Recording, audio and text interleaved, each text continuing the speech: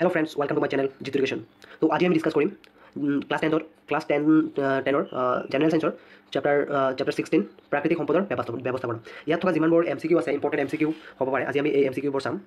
তো এই M C কিউবোৰ এছ এল চি এক্সামৰ বাবে two thousand twenty twenty three S L C এক্সামৰ বাবে বহুত ইম্পৰ্টেণ্ট হয়। তো ভিডিঅ'টো ভালকৈ চাবা। যদি ভিডিঅ'টো ভাল লাগে ভিডিঅ'টো লাইক কৰিবা আৰু চেনেলটো ছাবস্ক্ৰাইব কৰিবা।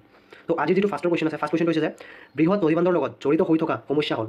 কি কি সমস্যা হ'ব পাৰে? মানে নদীবান্ধৰ লগত জড়িত থকা কি কি সমস্যা হ'ব পাৰে? তো ইয়াত ক নম্বৰটো হৈছে যে বৃহৎ এলেকাৰ শস্য পথাৰ হেৰু হেৰুৱাব লাগি লগীয়া হয়। তাৰপিছত ক নম্বৰটো হৈছে বৃহৎ পৰিস্থিতিতন্ত্ৰ বিনিষ্ট হয়। তাৰপিছত গ নম্বৰটো হৈছে ক আৰু খৰ এটাও নহয় আৰু খ নম্বৰটো হৈছে ক আৰু খ দুয়োটাই। এটা এইটো হ'ব ক আৰু খ দুয়োটাই হ'ব তো এনচাৰ খ হৈ যাব। কাৰণ বৃহৎ এলেকাৰ শস্য হেৰুৱাবলগীয়া হয়। কাৰণ যদি আমি এটা নদী বান্ধ দিওঁ তো পানীটো পাৰ হৈ বান্ধ পাৰ হৈ যাব নোৱাৰে। এটা মাটি নিৰ্দিষ্ট নিৰ্দিষ্ট মানে মাটি এটা হেৰুৱাব পানীত পানীৰ তলত যাবলগীয়া হয়। তো এই মাটিখিনিত আমি খেতি পথাৰ কৰিব নোৱাৰোঁ। আৰু ইয়াৰ পিছত যে বৃহৎ পৰিস্থিতিতন্ত্ৰত বিনিষ্ট হ'ব তো ইয়াৰ এনচাৰটো হৈ যাব খ। তাৰপিছত দুই নম্বৰ কুৱেশ্যনটো হৈছে যে তলৰ কোনটো নৱীকৰণযোগ্য শক্তিৰ উৎস? এইটো হৈছে বায়ু। এনচাৰ ঘ। তাৰপিছৰ কুৱেশ্যনটো হৈছে তিনি নম্বৰ কুৱেশ্যনটো হৈছে তলৰ কোনবিধ তলৰ কোনবিধ আহ, গছৰ পাতৰ তলৰ কোনবিধ গছৰ পাতৰ পৰা বিধি তৈয়াৰ কৰা বাবে উদ্যোগপতিবোৰে বনাঞ্চল ধ্বংস কৰি আছে। এইটো হৈছে তেন্দু তেন্দু পাতৰ দ্বাৰা বিধি তৈয়াৰ কৰা হয়।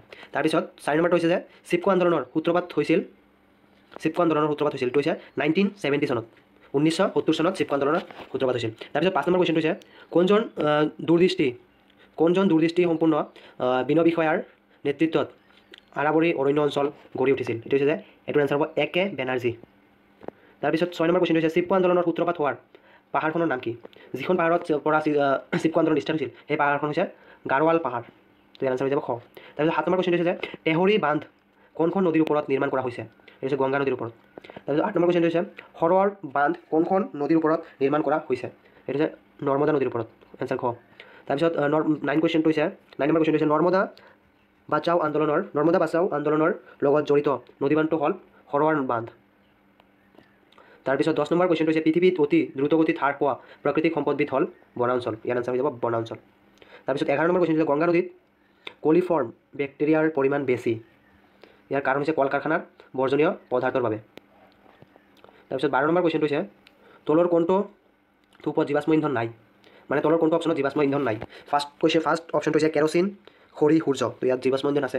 তাৰপিছত খৰটো হৈছে বতাহ কাঠ সূৰ্য তো ইয়াত নাই। বতাহটো হৈছে এটা প্ৰাকৃতিক কাঠটো হৈছে এটা প্ৰাকৃতিক আৰু সূৰ্যটো হৈছে এটা প্ৰাকৃতিক তো ইয়াত এটা জীৱাশ্ম ইন্ধন নাই। তো answer হ'ব খ